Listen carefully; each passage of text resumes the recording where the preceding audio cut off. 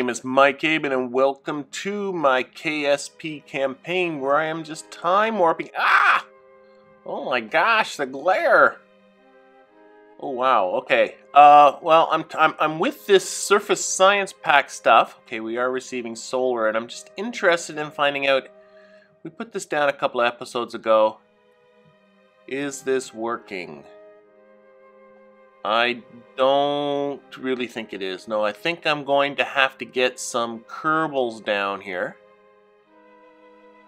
Specifically a scientist, I think, to uh, start this up again. But right now, why don't we get ourselves back to the Kerbal Space Center? Where we have the Otter X-1 just taking off from the runway a few minutes ahead of sunrise and we're going to be doing a crew rotation. You can see about four Kerbals down there at the bottom. There's actually a fifth. There's McNand. Also got Carol, Bob, Valentina, and Jebediah. Look at all those level threes. That is awesome. We're going to be doing a crew rotation, getting some folks back up into space, freshly leveled up so that we can, for the most part, populate the Karian 1 and get her new crew up there as well. We're going to be putting Bob and Carol into the laboratory module that is on Kerbin Station. I'm hoping that two level 3 scientists will be able to, uh, well, create some science for me without me having to do too much. Here comes the sunrise. Yeah, I still do have that glare. So bad here in the atmosphere. I've been playing around a bit with the settings on uh, stock visual enhancements, and Planet Shine and Scatterer. Uh, I think I might have messed something up. I'll try and see if we can get that fixed up a little bit better in the future. I have been working on my ascents with this vehicle, and finding that if I keep my pitch lower than I've done in the past, really allows me to build up speed and really get those whiplashes working efficiently. Seem to get up more quickly this way as well. And it's a good thing I've been working on it because I seem to have picked up an extra resource. There's some liquid ammonia up there. Talk about that in a little bit. Some mod updated, I really expect or suspect Kerbal Interstellar is responsible for adding that particular resource. Oh, we're not building up speed too dramatically, so uh, let's fire up those toroidal engines. I've also learned not to dilly-dally with those. Uh, as soon as you see that you're not building up speed quickly anymore, fire them up and pitch up. And now what we're doing is we're getting our apoapsis up to 80 kilometers, at which point we will cut those engines. Taking out the set of reaction wheels that were embedded in the center of this vehicle, so the only reaction wheels I now have are in the cockpit. I was finding those reaction wheels were somehow generating drag for me. And I figured I don't really need them, so I got rid of them. And uh, that's 80 kilometers. Okay, so we'll cut the engines and we'll just coast up to our apoapsis so we can do our circularization. Yeah, I got 200 units of liquid ammonia up here. Yeah, they've been added to the pre-coolers that are between the air intakes and those whiplash engines, which makes sense. Man, it's 140 kilograms of liquid fuel in each one, or liquid ammonia, sorry, in each one. That's 280 kilograms I didn't have before. Okay, we'll shut this. Oh, when I shut it down, I got boil off warnings. This is interstellar for sure. Okay, I got this valve, purge valve. Let's see if we can not purge this. Oh shoot, no, no, no, no, no, no. It's not going down. I was purging something else. I would prefer not to think what I was purging just there. okay. I don't need it anymore, so it would be nice to get rid of it. I need it while the whiplashes are going. But I do not need those jet engines anymore. Even on descent, I won't. I might use them a little bit, but not too much. Okay, well, maybe we can get an engineer to move those around, but right now we need to finish off our circularization. And once that was done, oh, I got 180 meters per second of delta V left in this vehicle. So despite the extra mass, that might have been one of my most efficient uh, ascents ever. So pretty happy with that. Now it's just a simple matter to do the rendezvous with the station, which you've seen only about a gazillion times. I apologize for how long it's been since I last produced an episode for this series. It's just been a busy time this last month, both at work and with the fam. It takes a long time to not only edit and narrate these episodes, but just to find the time to uh, do the gameplay portion of it as well. There's a lot of gameplay that gets compressed into these episodes that you see. But I hope in the meantime that you have been enjoying my other series that I've been producing. Should also talk about what's coming up in this episode. Uh, last episode, we rendezvoused with Asteroid Jupe, and we're going to be trying to complete that contract by inserting it into an orbit around Kerbin, and then seeing if we cannot get it over to the moon as well. And we'll be doing a launch, the launch of Moho 3, my first ion-powered craft. For the meantime, we've completed our transferring of our crew to their various stations, including Carol and Bob being put into the lab modules. So let's check out how much science I'm producing here. Oh yeah, and as was pointed out in the comments last episode, the stock lab module can level up crew as well. Nobody needs to level up though. Okay, oh, I guess I gotta start research on here and looking up Yep, there we are. We're producing 11.6 science per day. All right. Oh, I really got to get more scientists. I got two more labs in and around the Kerbin system. I'd love to get level two level three scientists into each of them. Get the same thing happening all over the place. In the meantime, Partner has moved that purge valve over to the pre-cooler check to see if we can now vent off that liquid ammonia before we head back down to the surface. Alright, the liquid ammonia is going down. Let's check our other resources. Doesn't look like anything else is going down. So that's all good. It looks like I'm venting the right thing. Let's check the other pre-cooler here. Oh, that one's going down as well. Good, so I won't have to move the valve. It should be pointed out that this is producing a tiny bit of thrust. If we take a look at our inclination up here, you'll see that it is increasing, though very, very slowly. This tiny amount of thrust is even affecting this massive station. But once this was accomplished, it was time for Jebediah to bring the X-1 back home. I'll say right out, I, I, I actually love flying this thing. Of my three different space planes I have right now. This is my favorite one to fly. Even with this apparent overshoot, it was still pretty easy to get it down onto the runway, though I suppose this is in no small part due to Jeb's mad flying skills.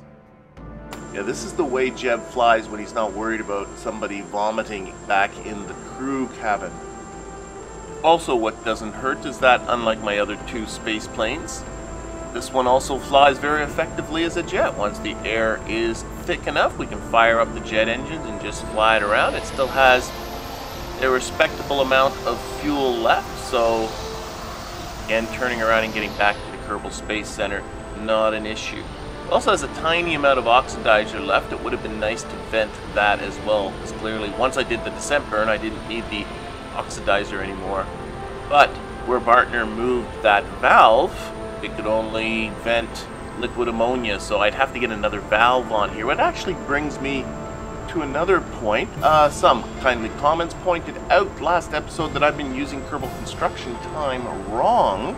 Instead of recovering normally, I can actually uh, recover to the space plane hangar directly, and that dramatically increases turnaround time on vehicles like this one. Uh, one of the issues, though, is that it recovers it the way it is. So if I want to take this into the spaceplane hangar and add a valve, I got to rebuild the whole thing again, which will take a lot of time. So instead, I'm going to find some way to get some more valves up to Kerbin Station, bring this up to Kerbin Station, and get an engineer to put it together for me. Here it is. I'll show you how this works with Kerbal construction time. Okay, that's right. Open that up again. Okay, we select the spaceplane hangar, and there it is. Recover active vehicle. Now, to be fair, that is rather hidden. Okay, uh, KCT, check under the space plane hangar, and oh my goodness, 30 minutes turnaround time. That's just the time to refuel the thing. I don't know if it refuels it based on the fuel levels in the config file. I would think that's what it would do, as opposed to just fill the tanks right up. If it just fills the tanks right up, uh, this is going to be problematic. Also, of course, if you have to do things like install payloads or add boosters like you would for a shuttle, uh, this is pretty useless. So it is kind of limited, but nice feature for jets, that's for sure. And from single stage to orbit space planes, let's move on to something, well, a little bit more mundane. This was a contract to test the TRXL stack separator. I've had a few of these in the past, including some transmitting science from different locations from which, you know, on Minmus and on the moon, I have lots of things in orbit and on the surface that's very easy just to transmit stuff from. Usually I don't show these kinds of things, but I wanted to sort of show that, you know, these things are kind of going on in the background. Not every contract is exciting or challenging. Sometimes you just got to do these just to sort of pay the piper, so to speak. And one of those regard, uh, rewards from paying that piper is upgrading the space plane hangar now to tier 3. That's pretty exciting. And the other reason I was show I wanted to show you these sort of missions, even though I don't show you all of them by any stretch of the imagination, was just to sort of uh, you might be noticing some eagle-eyed viewers might be noticing when things like the Kerbal Construction Time building queue comes up, they might be noticing these crafts. They're typically I just leave them as untitled, and you might be wondering what that's all about. Well, it's all about these kinds of lame missions. But enough for this. Let's get on to something new.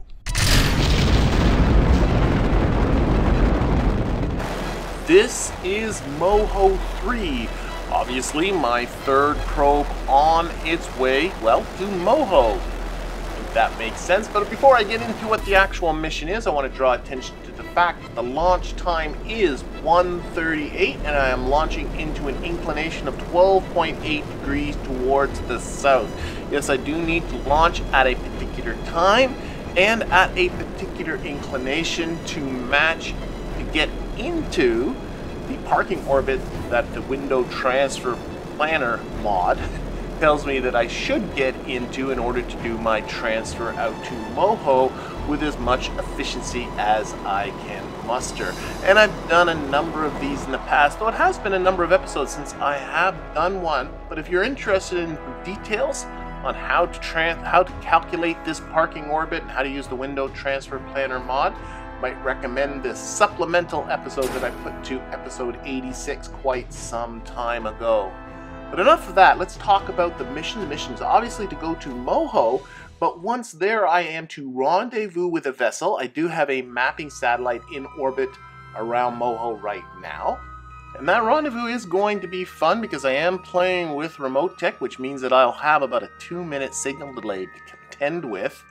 Uh, yeah, well, fun might not have been the best word, but it is going to be interesting, that's for sure. But the mission's not going to end there. I then have to take this probe and bring it back to Kerbin.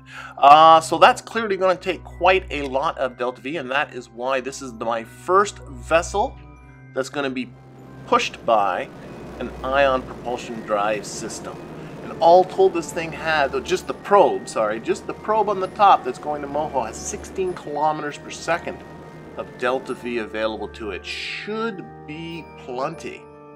That is, as long as I don't do anything silly. You see, with Kerbal construction time, there can be a long time between when I actually design the vehicle and when I finally launch the thing. And I'm talking about real time and measured in weeks of real time. And well, sometimes I can lose track of what it is that I am doing. And this is one of these situations where actually I forgot that part of the mission was to actually get back to Kerbin. And that comes into play here because once I had achieved my parking orbit and started planning my transfer out to Moho, well, about four days ahead of when Window Transfer Planner mod was telling me that I should be doing my transfer, I ended up with a burn that got me this Eve encounter, and I, I couldn't let it go. I thought, you know what, I could swing by Eve, I could pick up some some science along the way, and still get to Moho. I looked at the fact that I had 16 kilometers per second of delta V and went, well, geez, I, I crazily overbuilt this thing. Of course, I can still get myself to Moho easy peasy with this. Whatever my Eve encounter ends up doing to my particular trajectory, again, forgetting the fact that I am supposed to get back to Kerbin afterwards. This is after achieving an orbit as well. Get into orbit, break orbit from Moho, and get back to Kerbin. But like I said, at this point in my gameplay, I'd yet to realize that I had to do a little bit more than just simply get an orbit about Moho. So here I am coming up to my burn less than 20 minutes after achieving orbit. Now this burn is just a uh, sort of setup burn. I'm going to do this uh, this ejection in two parts. This one is just to raise my apoapsis up uh, a little bit shy of the moon and then we'll ride that around and about a day and a half later we'll get ready to do our main burn. And I'm trying to figure out how long this burn is going to take. I mean, better burn time saying about 75 seconds, but it's clear that it's assuming that the whole burn is going to be done with this LV909 engine. You can see that uh, I actually have a stage here that's about 1200 meters per second. This sort of pre-stage its job is to give me my escape velocity. And then the ion drive will take on after that. But of course, that drive is only going to be pulling about maybe a tenth of a G, something like that. So I did a bit of back of the envelope type of calculations figured it would take really closer to about seven minutes. And then I noticed up there, Kerbal Engineer, it was already taking this into account. Kerbal Engineer, you're amazing. It's saying right here it's going to take almost seven minutes to perform the burn. So, at about three and a half minutes to my maneuver node, it was time to punch it.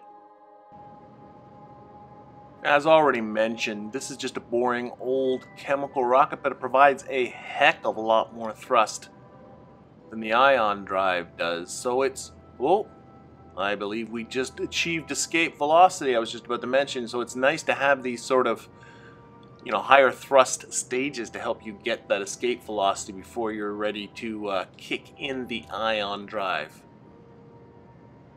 Uh, just looking at Kerbin there and noticing absolutely no clouds from the Environmental Visual Enhancements mod something is clearly not working right, I'm going to have to look at that. But right now, I need to complete this burn and get this thing on its way to Eve. And see if I can get it also on its way to Moho after that. But as you can tell, this stage is getting pretty close to being dry. Get ourselves into a position here so we can see it drop away behind us. Okay. And now it's time for that ion drive. Ooh, nice blue light there. Let's turn this over see. Ooh, a little bit of a plume happening. Completely silent, of course. Ion propulsion. That little bit of an animation is coming from real plume. I think it is anyway. I'm not sure if uh, since 1.2 if stock has added in a bit of an animation for the ion drive. It used to be just like this blue light. Maybe it still is. I like that little little bit of animation there. And in case for those that may not know how an ion drive, the basic principle behind it works, obviously it works with ions, but uh, to be a little bit more specific, what it's working with is xenon gas. That's what we use in KSP, and actually that's a pretty um, typical standard thing to use right now. It's a xenon gas. Xenon gas is uh, a noble gas. That's one of the nice things about it. So it doesn't, it's chemically inert, so it's not going to react with things uh, in the spacecraft and mess things up. So that's kind of nice. It's not going to be toxic or dangerous or corrosive or anything like that. It is easy to ionize, which is a good thing, and it's got a reasonably high atomic number, which means it has a reasonably high mass for a gas. So, and high mass means higher thrust, and with this, we need all the thrust that we can get. Basic principle behind this is to use electricity to ionize the gas. That means just to charge it, to knock off some electrons so it becomes positively charged. I believe that's the way it goes rather than adding on electrons. And then either using, and I think KSP is not particularly clear on this part, either using a magnetic field or an electric field to propel those ions out the back end, thus generating thrust. You can see this is going to take a little while. Even with that, I know there are those out there that feel that the ion driving KSP is overpowered. I mean, it certainly is overpowered compared to its real life counterparts. But frankly, I don't want these burns taking any longer than they already are. I think from a game perspective, I'm I'm fine with the way uh, the ion drive works. Anyway, once this burn was complete, there was a need for a correction burn once we got out of Kerbin's sphere of influence, and we will be getting back to that very shortly. But uh, in the meantime, I had to hop out to the Arm B and its A-class asteroid as it gets ready to perform its capture burn and complete this contract.